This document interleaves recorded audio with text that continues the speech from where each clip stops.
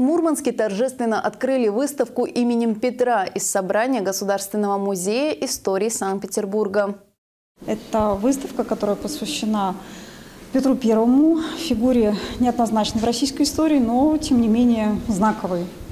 Потому что имя Петра, оно, безусловно, ассоциируется с э, началом того периода российской истории, который связан с тем, что нас стали признавать на международной арене, что наше государство стало могущественной империей.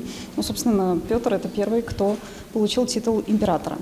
Выставка станет частью программы «Ночи искусств», которая состоится в Мурманске 4 ноября. Экспозиция, включающая в себя более 50 предметов, рассказывает о первом российском императоре-основателе Санкт-Петербурга как о символической фигуре, образе и персонаже культурной мифологии. Стилистическая и смысловая эволюция петровского образа показана через живописные и графические произведения выдающихся художников 18, 19 и 20 веков. Дополнительными предметами декоративно прикладного искусства и скульптурой. Экспозиция будет работать в культурно-выставочном центре Русского музея в Мурманске до 17 декабря.